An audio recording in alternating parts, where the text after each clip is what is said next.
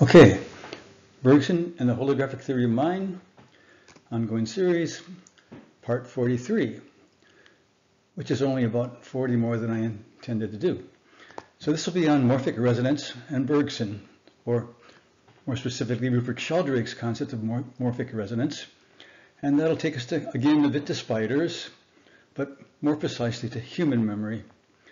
And we'll be looking at Rupert's description of the what I call 100-year storage search failure.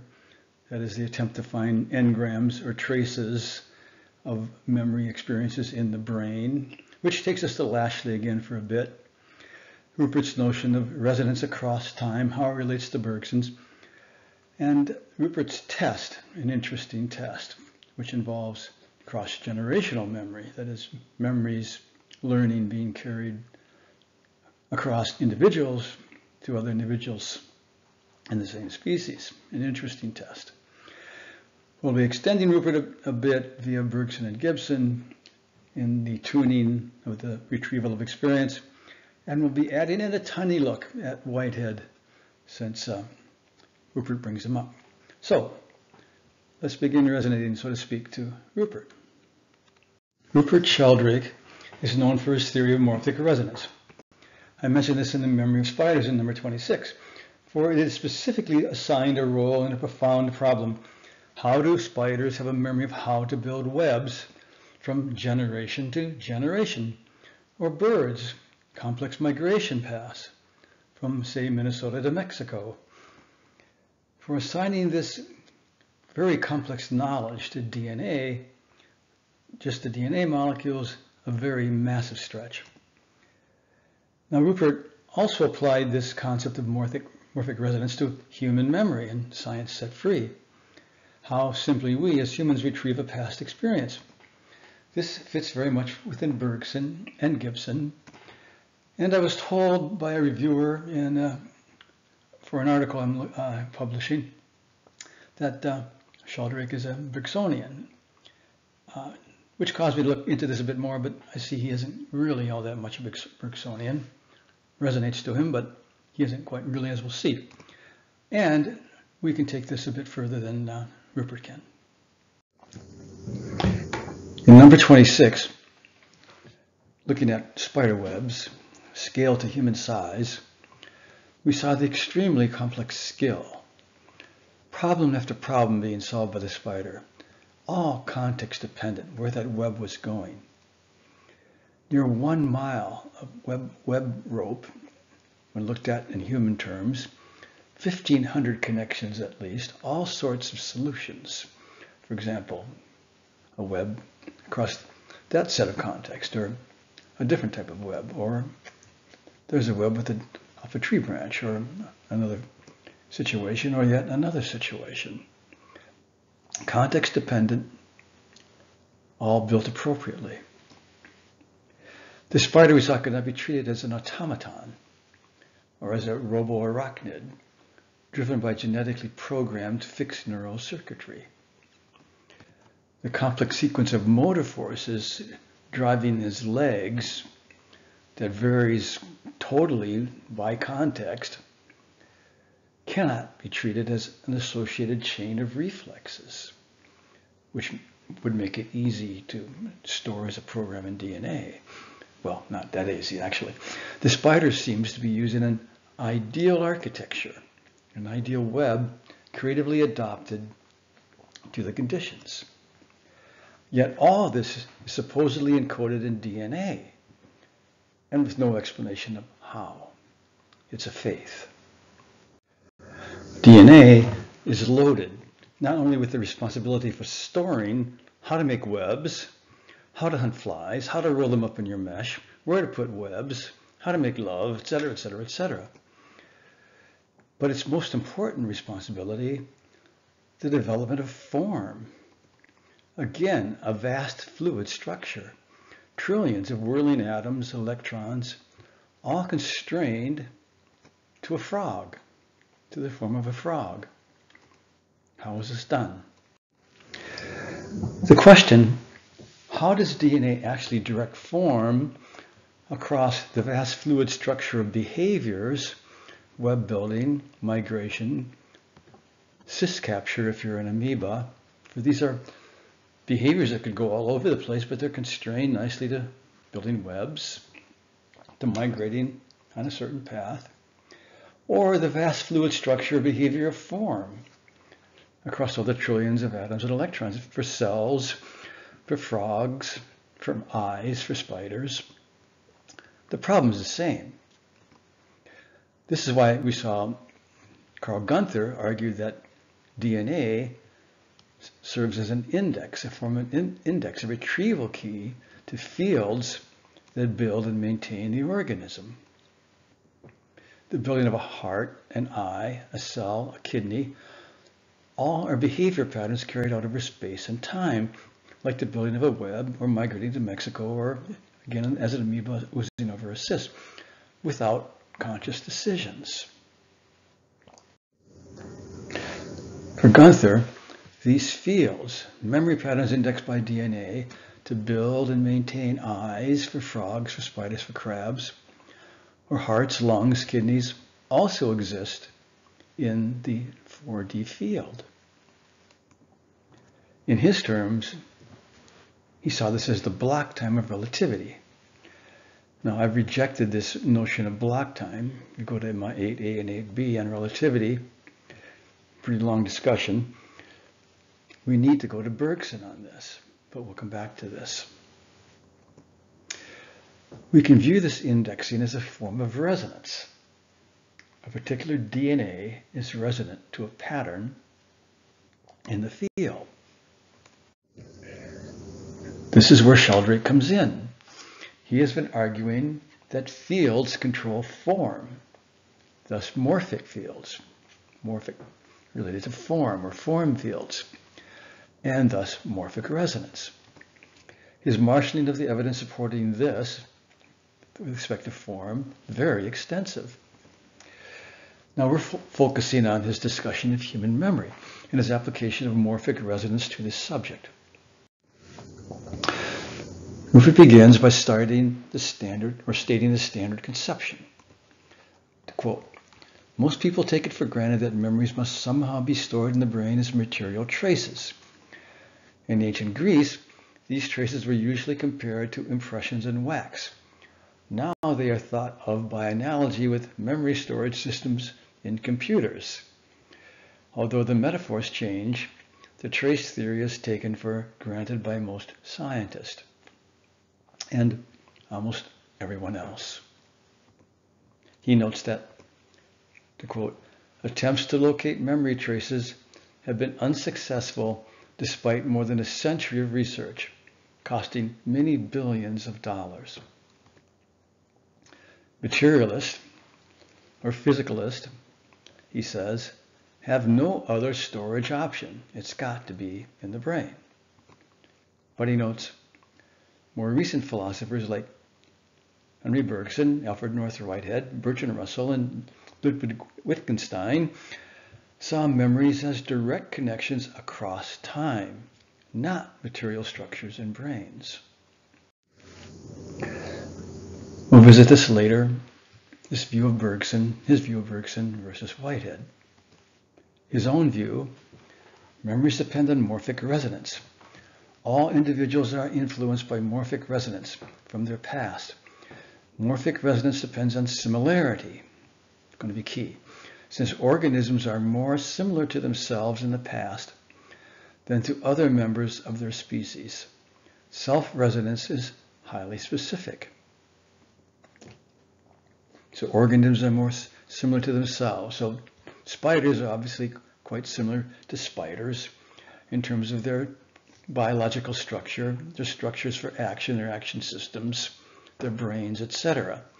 So they're going to be able to send a quite unique resonance pattern, shall we say, through that 4D field, as opposed to amoebas, as opposed to humans, as opposed to chipmunks, etc.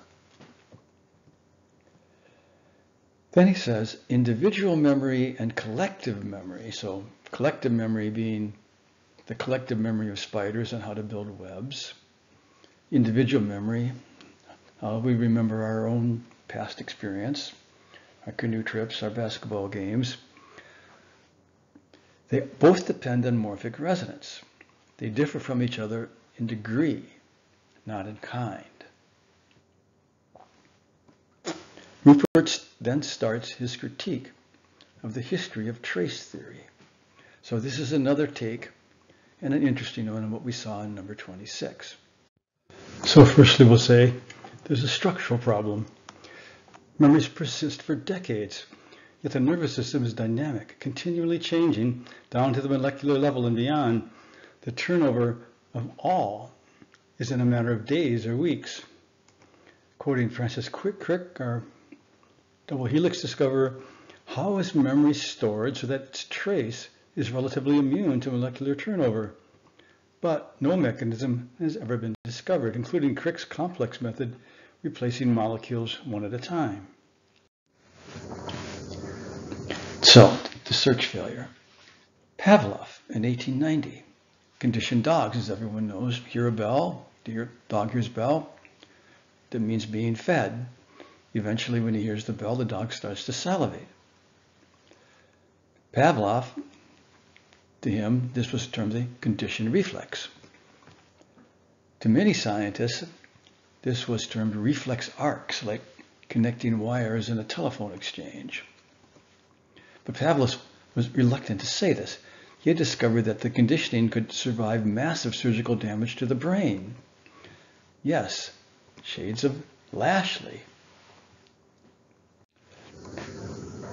Lashley suspected the whole reflex arc thing. For rats, he trained them to respond in specific ways to a light. Nearly all of their motor, motor cortex was then cut out. They, they, but still they could perform as well as those not operated on. Monkeys trained to open boxes with latches. Then there was an operation. Nearly all the motor, motor cortex was again tossed. After two, three, two to three months, they could move around again. And they opened the boxes promptly, no hesitation. So much for the motor cortex, right about there, with the X's, X'd out. Now for the associative areas of the cortex, where the arrows are. Deep incisions destroying cross connections, no problem. Cerebellum gone, totally, no problem. So lastly, suggestion, standing waves. To quote characteristics of the nervous network are such that when it is subject to any pattern of excitation, it may develop a pattern of activity reduplicated th through an entire functional area by spread of excitations, such as the surface of a liquid develops an interference pattern of spreading waves when it is disturbed at several points. I would note, but this is not much of a storage model, storage of experience. It, it might be patterns of excitation that one has or occur while stirring coffee. It does not account for the experience, that is the external image, etc., of stirring coffee. But this led to Pribram, that is Lashley's student, and his holographic model of storage.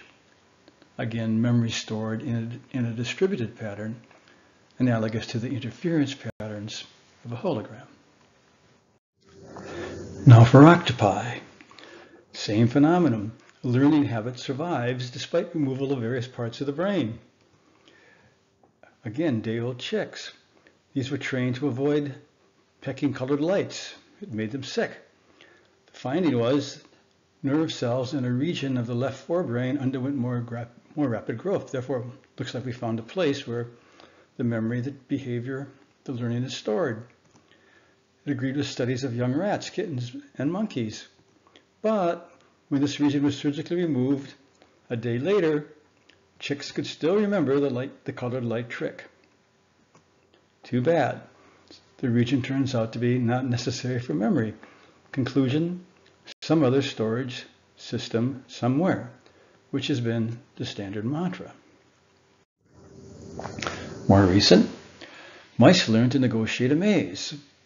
Actually, our activity in the medial temporal lobes, particularly the hippocampus, was observed.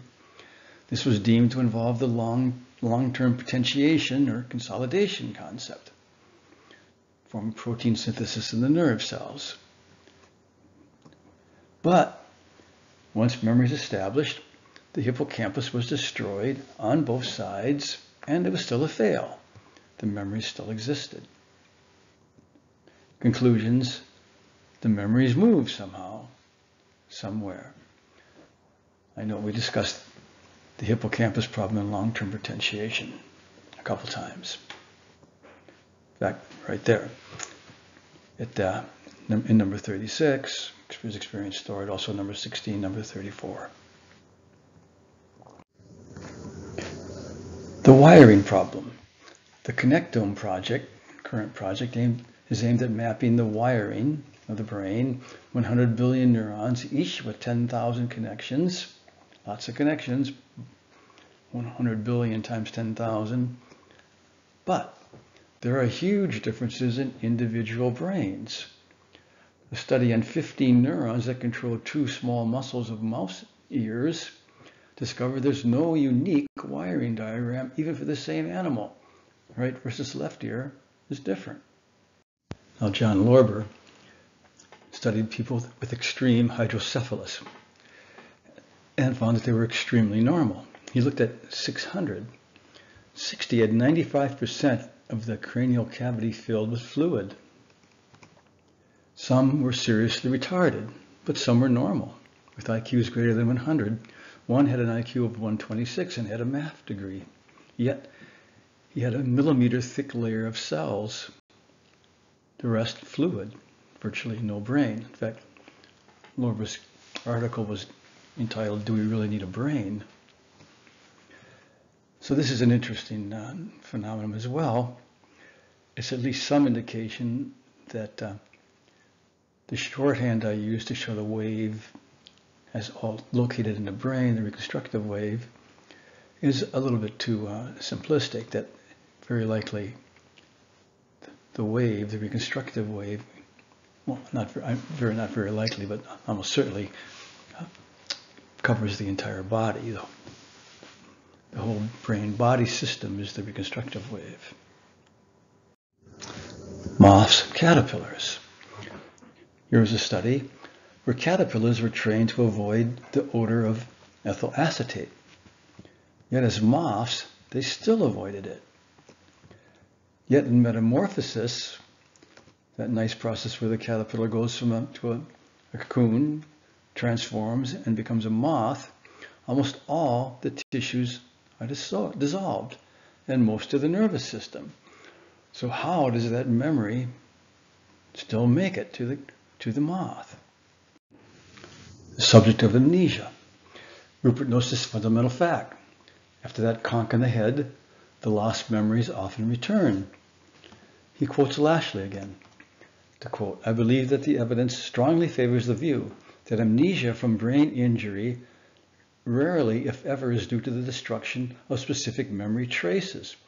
Rather, the amnesias represent a lower level of vigilance, a greater difficulty in activating the organized pattern of traces.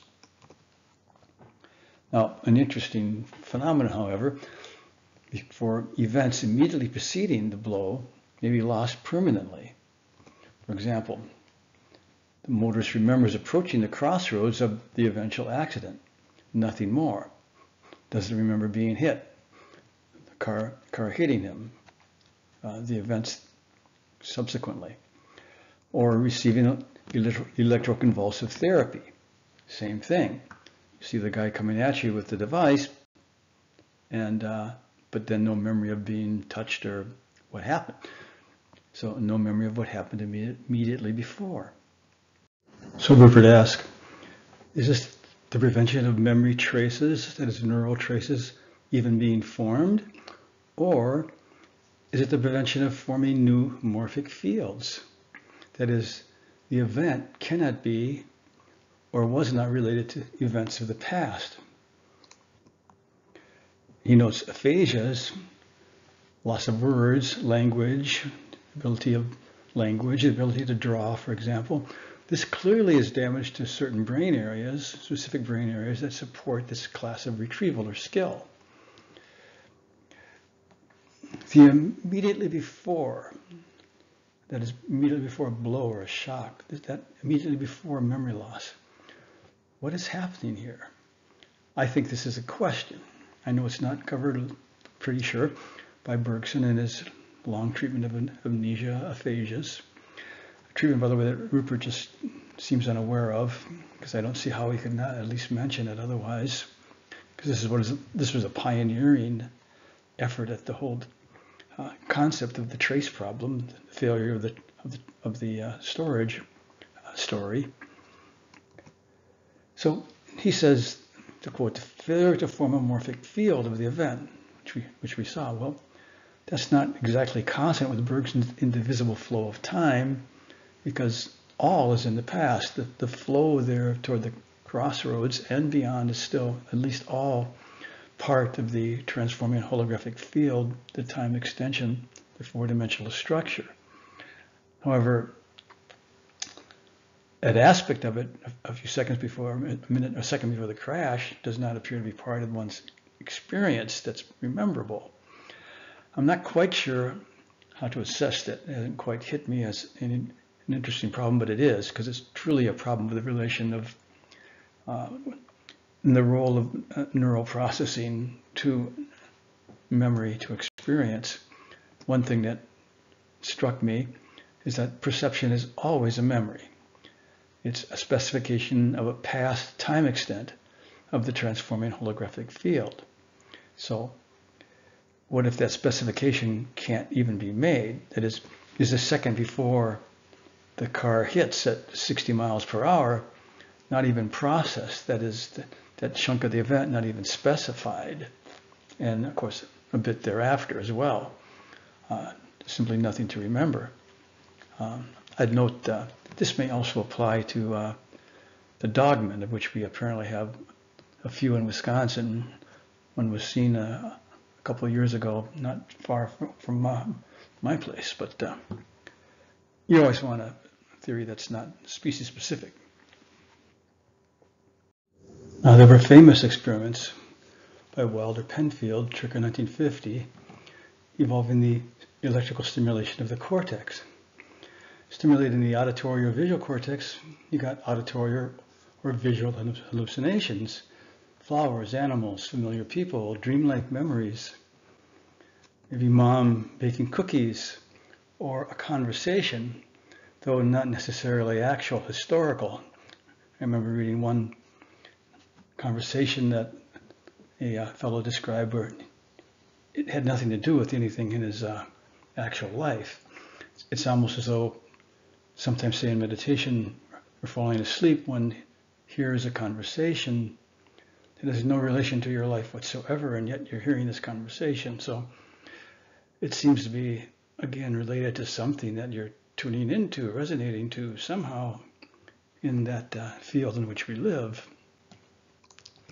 Now I'd note, my own note here, again, a blast from the past for my doctoral thesis when I was going through this in 1976, that Mahl did studies where he showed that what is retrieved is context dependent. That is, the same cortical area could be stimulated, but if you precede the stimulation with a conversation on war, you're going to get war-related memories.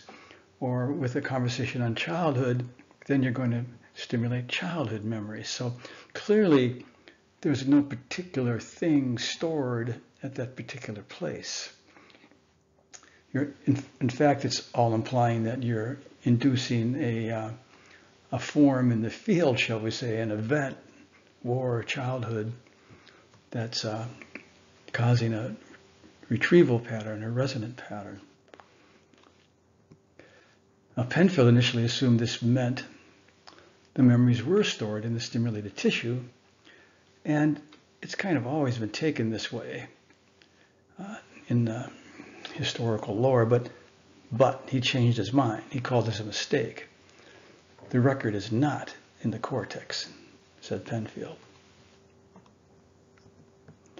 Like Lashley and Pribram, he gave up on localized memory traces and moved to the distributed over the brain view. Going back to Pribram and this distributed throughout the brain concept, Rupert notes, but what if the holographic wave patterns are not stored in the brain at all? Pribram later came to this conclusion and thought of the brain as a waveform analyzer rather than as a storage system, comparing it to a radio receiver that picked up waveforms from the implicate order, rendering them explicit. A little article in 1979 from, in, a, in a publication called Zygon. Um, so he's looking at the holographic field there, my symbol, but he's calling it a uh, waveform analyzer. The brain is a waveform analyzer. Uh, this, of course, came from Bohm's influence on Pribram. But as I pointed out in number 17 and number 25, my, my difficulty with Bohm and Pribram, well, why don't you go the whole way with the holographic analogy, holographic model? Why not say the brain is a reconstructive wave specific to or specifying the coffee cup, that is specifying a source within the holographic field now as an image of the field. And of course they don't go that way because you have to have the whole concept of subject and object related in terms of time, not space, and uh, a quite different understanding of the problem. But I cover that in 17 and 25. So Bohm, for Rupert's description of Bohm, the manifest world uses this explicit or unfolded order. So you have the explicit order emerging from the implicate or enfolded or holographic order. So my, there's my picture there. That you have the holographic field where things don't quite look like uh, they do to us now. Uh, the holographic field, the implicate order, and then you have the very explicit order, the unfolded coffee cup. The implicate order contains a kind of memory. What happens in one place is introjected into the implicate, which is potentially present everywhere. Thereafter, when the implicate order unfolds into the explicit, this memory affects what happens. This, says Rupert, is very similar to morphic resonance. Thus, each moment would contain, to quote, a projection of the re-injection of the previous moments, which is a kind of memory. So that would result in a general replication of past forms. Now, this language, we'll have to come back to this, a projection of the re-injection of the previous moment. So he's quoting Bohm from another obscure source where he's describing what what you're having as, as each successive moment comes that that previous moment's got to be re-injected into the into the uh, current moment uh, over and over and over again. So I think Bergson has a better way of describing this, but we'll come back. So Rupert begins his examples with habituation, examples of morphic resonance. So much for the trace theory history. I thought many things were brought out that were interesting. But now to morphic resonance, habituation. This little organism, this stentor roeselii, is a single-celled little being. It's got rows of fine little beating hairs or cilia. If jolted, the stentor contracts into its tube. If nothing happens after about half a minute, it extends the tube again. If the same, same stimulus recurs, after a while it doesn't bother to contract anymore. It knows about that stimulus. Now how is this memory explained? For the stentor has no synapses, etc. It's a single cell. He says morphic resonance is a straightforward explanation. The organism is in resonance with its own past patterns of activity. Again, like our two spiders that are resonant to each with, with, with because they're they have the same kind of structure. Again, in this case, we have the same little cell structure. When the stimulus is repeated, the organism res resonates with its previous pattern of response. Rupert hits the subject of recognition. The recognition is pretty much defined operationally nowadays in terms of the situation where we are shown A, then B, then X, then Y, then Z, etc. For example, well, we'll say little toy trucks. And later, we were shown X again and asked, how confident are you that you saw X? Is everything goes away, and you're asked, how confident are you or that you saw the, the garbage truck? You give X a familiarity rating. You, you rate it from, say, 1 to 5, where 5 is very familiar. So this guy says 4, pretty familiar. Now in recall, same thing. We're shown, say, the same set of uh, little trucks, AB, XYZ. Later, you're simply asked, well, tell us everything you saw. Name all the trucks. And you try to bring them all back. That's your mission should you choose to accept it. And recognition is generally considered easier than recall. Now, interesting, again, blast from the past. In uh, my doctoral thesis, I noticed that recognition experiments are an interesting source for the concept that everything is stored. For example, Roger Shepard, a well-known name in uh, psychological research, showed six so, so showed subjects 600 pictures, picture after picture after picture being presented. Later, the subjects were presented a pair, say X and Y, where let's say X was one of the original pictures and Y was not. In other words, a garbage truck and an airplane. Uh, the airplane was never seen. And the question was which was seen. Well, subjects were correct 98% of the time in identifying which one was actually seen. This was later replicated by Standing et al. with 2,500 of these items, and the subjects were 90% correct. So again, this is an indication that, well, boy, this, this entire set of items, 2,500, appears to have been, quote, stored, or at least were resonant to them all. There's a resonance pattern available to all 2,500 items. Continuing with Rupert, recognition, like habituation, depends on morphic resonance with previous similar patterns of activity. So resonance with previous similar patterns of activity. The pattern of vibratory activity within your sensory organs when you see a person you know is similar to the pattern when you saw the same person before. The sensory stimuli are similar and have similar effects on the sense organs and nervous system. He says the greater the similarity, the stronger the resonance. Now, I'm not sure he's entirely aware of this, but what he's saying is he's assuming a felt resonance, a concrete feeling supporting underlying recognition, that is, underlying conscious recognition of um, the truck or whatever.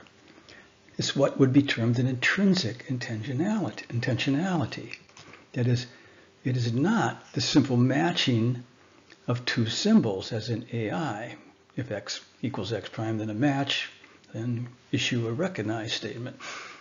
That is a purely symbolic operation, spatial, timeless, and had nothing to do with consciousness. So morphic resonance is taking us to the real conscious basis of recognition. Let's amplify Rupert's resonance with Bergson Gibson. That is, relate his recognition as a resonance to similar events, and to this resonance as across time. The across time is heavily reliant on Bergson's temporal metaphysic. Just noted it here, we'll come back. Similarity, as Rupert noted, the greater the similarity, the stronger the resonance. In the Bergson-Gibson framework, this can be made more precise for what is similarity. We come back to the invariant structure of events. The coffee stirring velocity flow fields, adiabatic ratios, inertial tensors, uh, carried over the haptic flow fields, acoustical invariance, texture gradients, ratios and the capability of parametric variation of these structures. Again, the coffee stirring as an invariant structure is a parametrically variable structure. Coffee stirring with this invariance is defined by a set of parametric values. The normal circular amplitude value of the stirring, resistance of the coffee medium, the value of the inertial tensor, the form of the radial velocity flow. Cake batter stirring is another set of values on these various parameter ranges. In this case, a much bigger amplitude of, of uh, circular motion, far greater resistance. Cement stirring at another point on the range, far greater resistance, for example. But stirring in general uh, involves a parameter range embracing all these invariants or a set of dimensions of, of ranges. For example, up there we have coffee stirring is one spot on this continuum, cake batter stirring another. This, this continuum being the amplitude, the circular amplitude involved. One, could, one dimension could be resistance, etc. Stirring in general, again, covers this entire range. So recognition performance, as measured by familiarity values, again, an experimental subject has presented a bunch of items, again, say A, B, C, D, later presented C, you know, rate C in familiarity, how familiar is C, but now make A, B, C, D events rather than just static items. Okay, coffee stirring, pancake flipping, pouring a cup full of coffee, egg breaking. By manipulating the event parameters, for example, of the coffee stirring event, which we understand a little bit, the event will be increasingly less recognized or rated as increasingly less familiar as the test stimulus parameter values verge towards, say, soup stirring or cake batter stirring. You say, how familiar is that? Well, if that, if if you were presented coffee stirring originally and represented something like um, soup stirring, you're not going to give it a high familiarity value. You might have been doing an initial test where you were, you were given, you were you stirred various something like a coffee stirring. You're not going to have the same um, parameter values involving the, the uh, inertial tensors, the resistance, etc. at all in your uh, in your uh, kinesthetic flow. Again, another example, take tree growth. There's a precise law defining tree growth. Okay, the, the, um, the number of branches, a function of the height, uh, and, the, and the diameter. So uh, the height is a function of, uh, the, uh, the diameter is a function of the height as well. So you have this little invariance law defining tree growth. So, and in this case, if you if, if you pick an item, for example, that it's it's simply a, a special case of an event. It's a stage or a sample along a trajectory of growth. So you could again do your recognition test. It'd be termed a forced choice test, like like we saw with um, Shepard et al. or, or um, Standing et al. Where they did you see this or this? Okay. Uh, likewise, you, you could simply rate this tree as familiar, one to five. What did you see? Is how, how familiar is that tree? And the rating will fall as the tree moves further away from the original, the, the arrow up there, um, the original tree, as, as the tree moves farther away in the growth direction, either direction, your familiarity rating's going to fall. So in other words, you'd have a graph familiarity values are going to um, increase as a, as a function of increasing parametric fidelity to that original stimulus. We can do the same thing with the growth of the head, the facial profile. We've discussed this before. You take a cardioid, place it over the, uh, uh, uh a grid, a matrix, Okay, and, and then you can apply a strain transformation where you expand the grid in all directions, and that generates a, uh, a, a, growing, as you, as you expand, you, you generate a set of facial profiles that grow along the age dimension. So you have a strain parameter K, which you're now parameterizing. Again, just like the last slides, if you present, if you pick one, the item is a special case of an event, a sample along a tra trajectory of growth. Again, you could have a forced choice recognition test, or you could rate this profile as familiar, you know, one to five. And the rating will fall as the head moves further away from the original in either direction along the growth trajectory. I've, i gave several more of these examples in, in number four. revisit, re, revisiting this in this context of Rupert and recognition. So for any model of memory, this is a requirement, as I noted before. Number four, a requirement based on the transformations and invariance laws defining events. Memory retrieval is based on dynamic events.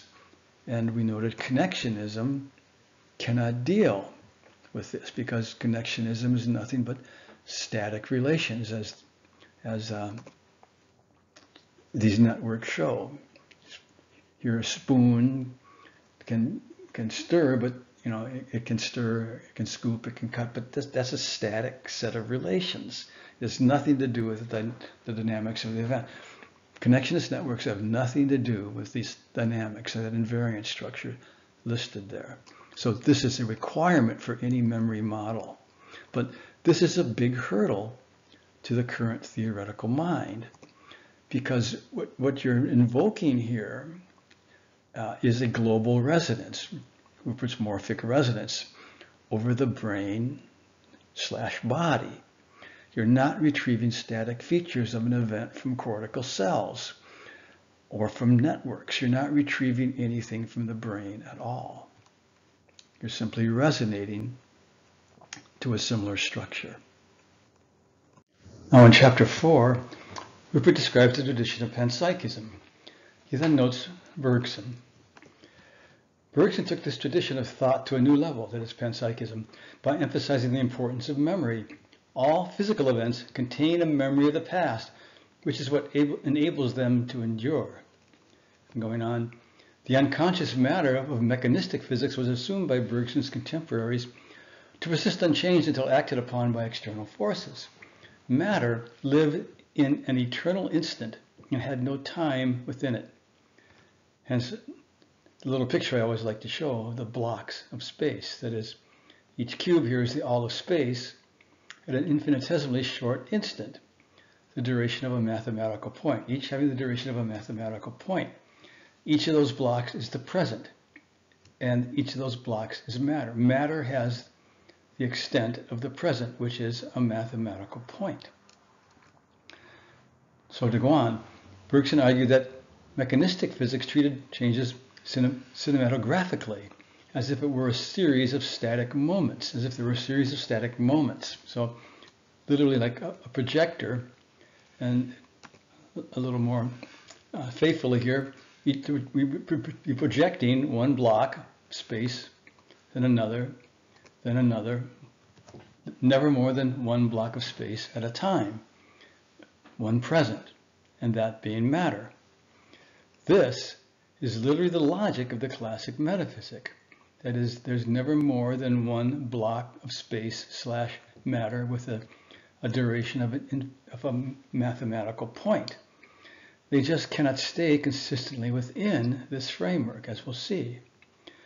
But to go on, but for him, for Bergson, this kind of physics was an abstraction that left out the essential feature of living nature. To quote Bergson, duration is essentially a continu continuation of what no longer exists into what does exist. Duration therefore implies consciousness, and we therefore place consciousness at the heart of things for the very reason that we credit them with a time that endures. I note that Rupert is quoting Bergson here from Skrbina's recent work, Panpsychism in the West, not directly from Bergson, which is a difficulty with Rupert because I don't believe he's read Bergson. So this characterization of Bergson, memory is the retention of the past in the present, where all physical events contain a memory of the past. To simply go stay with this is an ineffective statement. It's just kind of weak. It's kind of a weak philosophical statement. I hit this in a reviewer recently, counseling me on Bergson, actually sending me to, to Rupert. Uh, he, to him, this is how you describe Bergson. And I disagree. The emphasis must be on the two different metaphysics, the classic and the temporal, and the fact that physics itself faces this fork in the road. I'm going to go through this again in another way to uh, show why it must be approached this way. you have the two metaphysics. The classic metaphysic, simply an abstract space, a principle of infinite divisibility. An infinitely divisible continuum, like a 3D block or continuum of ultimately mathematical points. In its treatment of motion, motion is a series of instants, each coordinate with a point on the continuum. That is, the motion traces a line of points. But this is an infinite regress. Be between each point, you have to reintroduce the motion. So the rat moves along the continuum as a as point after point after point, each point an instant. But to treat that motion as point after point, you have to reintroduce the motion between each point. And this is an infinite regress. Time becomes the, trans the transformation of the material field now becomes that series of, series of instantaneous blocks of space, each with, with the duration of a mathematical point, each block ultimately completely homogeneous with no qualities. On the other hand, the temporal metaphysic, motion is indivisible. There are no instants. Space is extensity. It is not a point continuum. Extensity like our lake there. Time, the transformation of the material field, is indivisible. Non-differentiable is another way of putting it. And the whole is transforming, like Bergson said, like a kaleidoscope, kaleidoscope. And in this whole, in this global transformation, objects and motions, quote unquote objects and quote motions, are transferences of state in the global motion of the whole. Continuing the temporal metaphysic, thus there is real motion and real simultaneity in this global transformation of the whole, the whole field. Roses bloom, stars explode, trees grow. No aspects of these motions can be relativized. That is, you cannot say that stationary observer of the rose is wrong, that aspects, all aspects of those motions are simultaneous, then in reality he's moving and the uh, therefore things that he judges simultaneous are not. Sorry, but this, it's an organic motion within the whole that cannot be relativized. This is the core problem with special relativity, which in, in reality is only a logical refinement of the classic metaphysics. The stark contrast of the two metaphysics makes this clear. This is already a problem at the door of physics. In physics and psychology, it's now being rather clearly understood or clearly entwined. Quantum mechanics now has invoked consciousness as perhaps the problem at its uh, base. And time is now being seen as a critical subject in physics. And this too is clear. Language like this doesn't do much.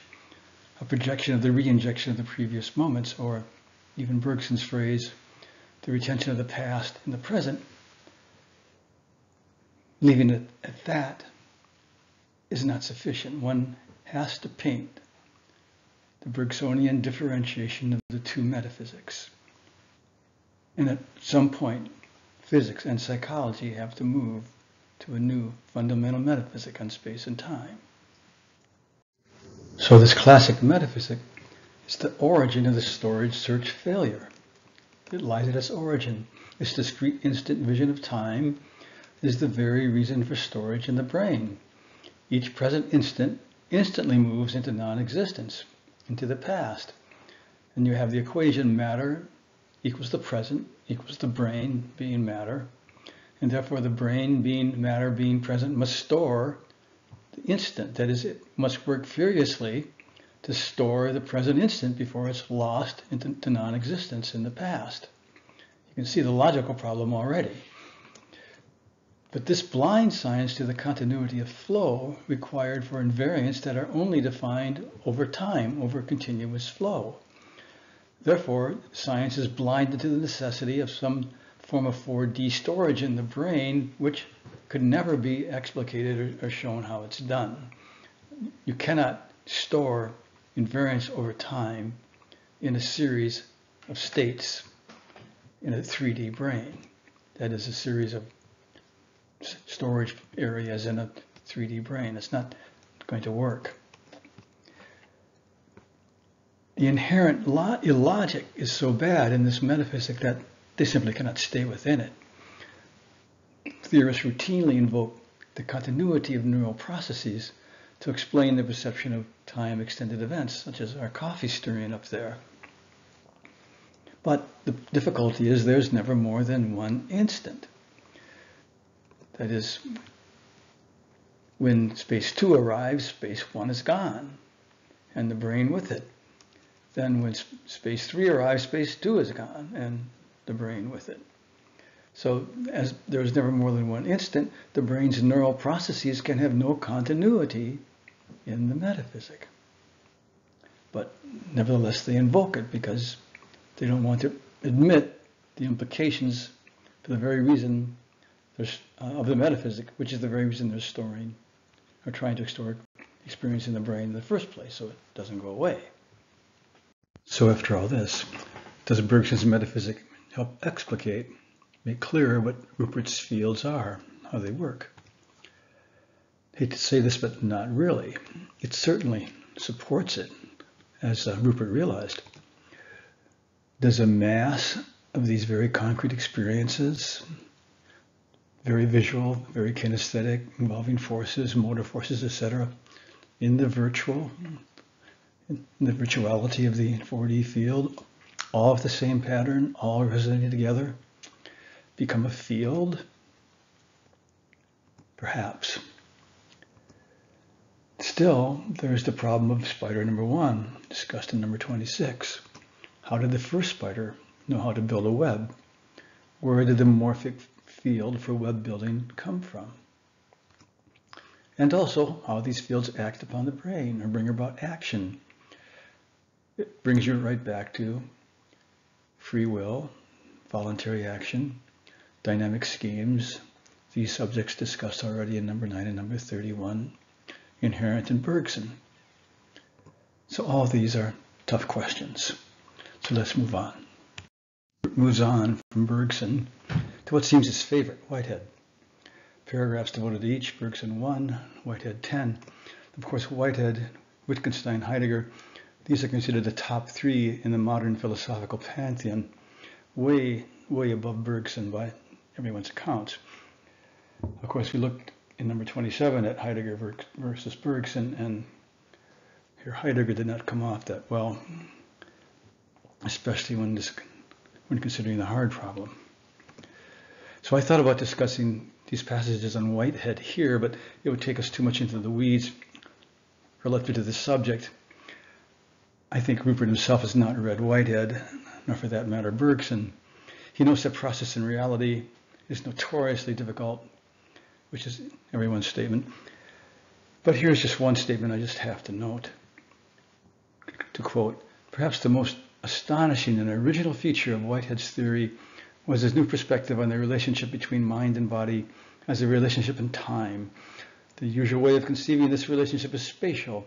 Your mind is inside your body, while the physical world is outside. And it goes on, by contrast, for Whitehead, mind and matter are related as phases in a process. Time, not space, is the key to their relationship. Now we could go on for the comparison and relationship between Whitehead and Bergson on time could be interesting. But this astonishing and original feature, quote unquote, is simply again a sad testimony to the burial, burial of Bergson. What happened to this? Questions of subject and object and the union and the distinction must be treated in terms of time, not space, from Matter and Memory, 1896. Whitehead acknowledges his debt to Bergson. It is unclear what the debt is to me.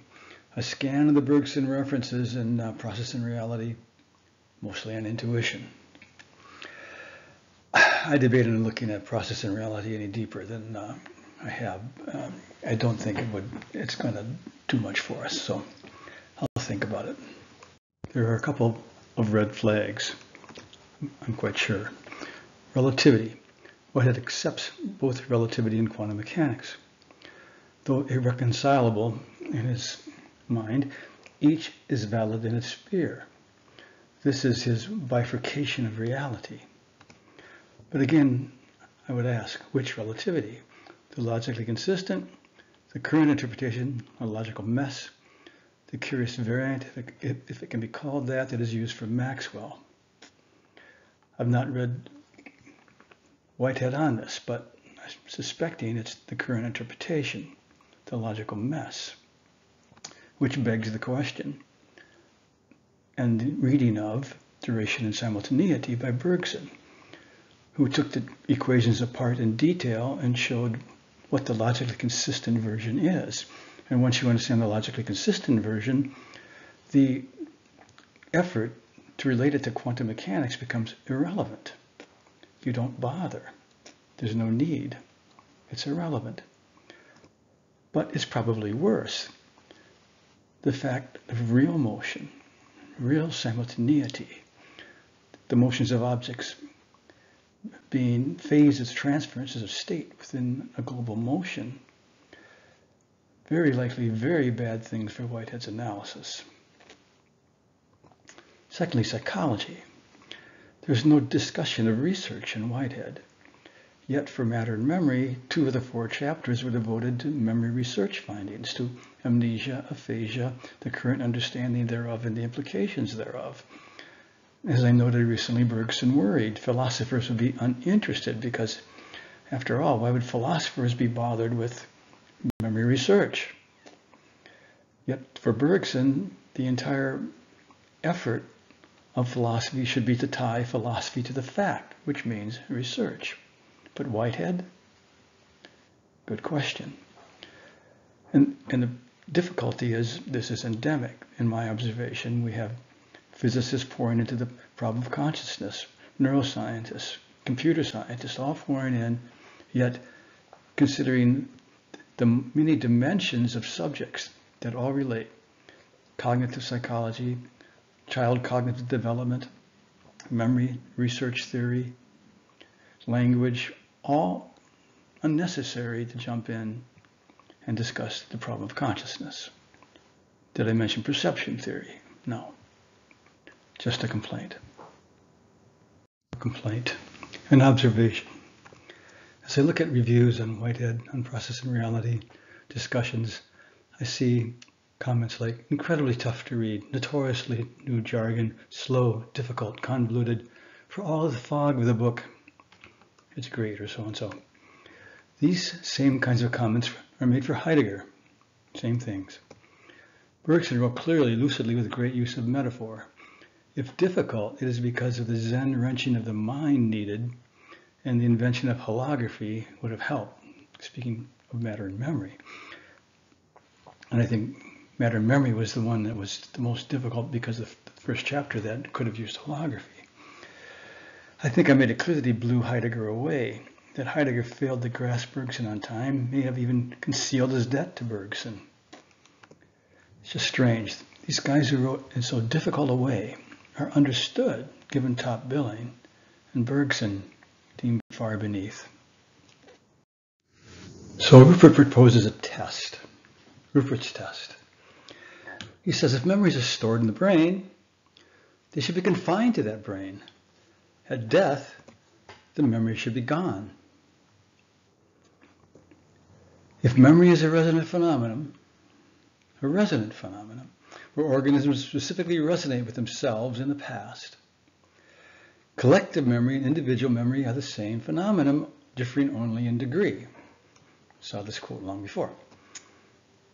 So, in this case then, we have the spider collectively sort of manifesting a collective memory of how to build webs due to the self-similarity of all spiders to one another, or some set of spiders with making certain kinds of webs. And a guy there remembering his uh, experiences canoeing upon observing a canoe. Again, some similarity, self-resonance, something like morphic resonance. So though all the modifications I would add, as we've seen on invariance laws, because that is what similarity is. This can be tested. In fact, he says it has been tested. There was a long series of experiments, conducted first at Harvard, then at Edinburgh and Melbourne. At Harvard, rats learned to escape from a water maze. The more that learned it, the easier it became for the rest. So rats following the original rats learned easier than their predecessors. At Edinburgh and Melbourne, the Scottish and Australian rats took up where the Harvard's, Harvard rats left off. Their descendants learned even faster. Some got it right the very first time. At Melbourne, rats from untrained parents still showed the same effect. That is, this was not being passed through the genes. To quote, all similar rats learned, he's emphasizing that structural similarity of rats, learned quicker, just as morphic resonance would predict. This is a toughie for the concept of storage in the brain. Rupert notes the resonance, shall we say, of this with the Flynn effect, the increasing IQ scores with human generations. The question is why? Rupert would say it's morphic resonance. This dictum will likely hold for a while for orthodox science, though. If it can't be stored, it must be ignored. But the implications are wide. Being, our being, reflecting the constant influence of the past, or the injection of the past into the present, as Bohm put it, or the indivisible flow, per Bergson. Rupert notes the relation to the Buddhist concept, also the Hindu concept of reincarnation, the effect of a past life or past lives upon the present, i.e. you're inordinately afraid of water because you've drowned in shipwrecks three times in past lives. But how all this actually works, how morphic fields work, what are morphic fields, and memory is so much more than just morphic resonance. That is, there's a whole problem of images, images and voluntary action, in language comprehension and dynamic schemes, the transition from the virtual to the image to the action, as we've discussed. Yes, it could go under the notion of morphic resonance, but we're breaking it down. Bergson provides the metaphysic. And the start in the discussions that we talked about on, on the right there in dynamic schemes on how things work. But it's a metaphysic in which a better physics might tackle all this. But the step needs physics. It needs neuroscience. But to go back, if it can't be stored, it must be ignored. Unfortunately, no experience can be stored. Where the problem begins in the orthodox model, which is of perception, that is no model in reality.